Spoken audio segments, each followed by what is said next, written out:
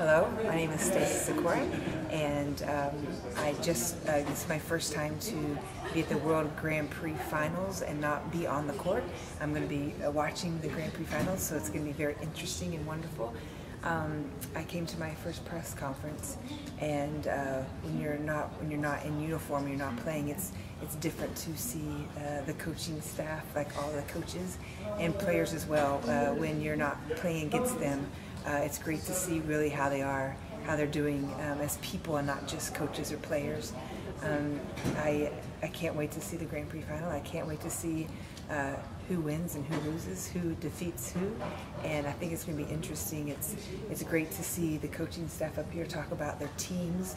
Um, it's uh, a lot of the coaches I know and their their techniques, their their teams are always on top because uh, their programs are so so wonderful in the sport of volleyball right now.